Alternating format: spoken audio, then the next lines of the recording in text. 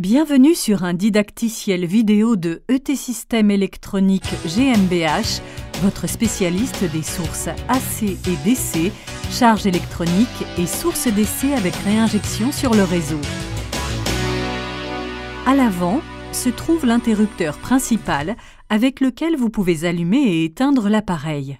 Le bouton Standby permet de libérer les valeurs définies individuellement à la sortie ou à l'inverse, de désactiver la sortie.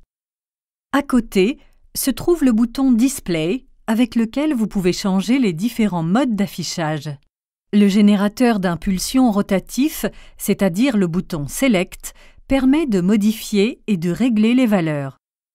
Après avoir allumé l'appareil, le logo ET System apparaît sur l'écran pendant quelques secondes. Pendant ce laps de temps, le contraste de l'affichage peut être réglé au moyen du générateur d'impulsion rotatif. Le contraste défini est enregistré même après la mise hors tension. En bas de l'écran de gauche, nous voyons maintenant les paramètres actuels de l'appareil. UI signifie que l'appareil est en mode tension. À côté, nous voyons l'affichage STB qui nous montre que tout est en mode stand-by, la sortie n'est donc pas encore libérée. L'affichage LOC à droite, à côté, nous montre que l'appareil fonctionne actuellement en mode local et n'est pas contrôlé par une interface. Sur l'écran de droite, nous voyons la configuration Preset V7. Cela signifie que nous pouvons maintenant prédéfinir la tension en utilisant le générateur d'impulsion rotatif, dans cet exemple sur 100 volts. En appuyant sur le générateur d'impulsion rotatif, la configuration change pour preset I7 et vous pouvez maintenant régler l'intensité du courant, dans ce cas, sur 2 ampères. Ce n'est qu'en appuyant sur le bouton Standby que les valeurs seront également libérées à la sortie. Sur l'écran de gauche, nous voyons maintenant la tension définie et sur l'écran de droite, l'intensité de courant actuelle qui s'ajuste naturellement conformément à nos tests. Nous voyons ici que l'appareil se trouve maintenant en mode CV, le mode voltage constant.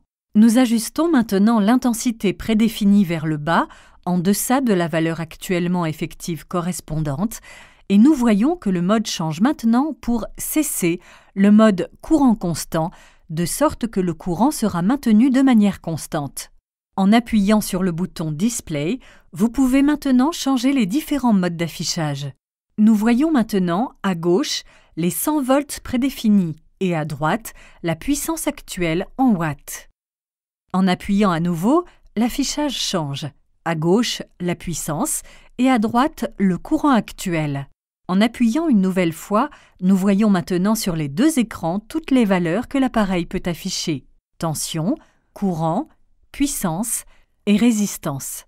En appuyant à nouveau, nous voyons maintenant à gauche les valeurs pour la tension et le courant, et à droite un graphique qui nous montre le point de fonctionnement défini auquel se trouve l'appareil actuellement. En appuyant une dernière fois, la configuration d'origine de l'écran s'affiche à nouveau. Le bouton Standby remet l'appareil maintenant en mode Standby et nous voyons sur l'écran qu'il n'y a aucune valeur à la sortie. En appuyant de manière prolongée sur le bouton Display, on accède à la configuration. Vous avez la possibilité de limiter la tension de sortie ou la puissance du courant de sortie. En outre, la protection contre les surtensions peut être réglée ici. Dans le menu Remember Last Setting, je peux choisir si les valeurs définies doivent être mémorisées. Si l'on règle cette option sur On, les réglages seront mémorisés, même après la mise hors tension de l'appareil. En appuyant brièvement sur le bouton Display, vous pouvez maintenant voir les interfaces intégrées et à partir d'ici, également éventuellement en modifier les valeurs. En appuyant à nouveau sur ce bouton, cela nous ramène à l'affichage standard. Pour le moment, nous nous trouvons encore sur le masque de configuration de la tension.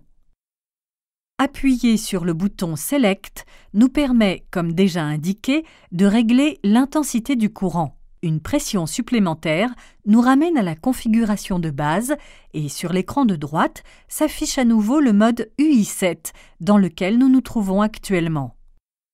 En tournant le bouton Select, nous pouvons changer les différents modes prédéfinis. Ici, le mode UIP7 permet de limiter la puissance. En appuyant et en tournant le bouton Select, nous pouvons maintenant régler tour à tour la tension, le courant et la puissance.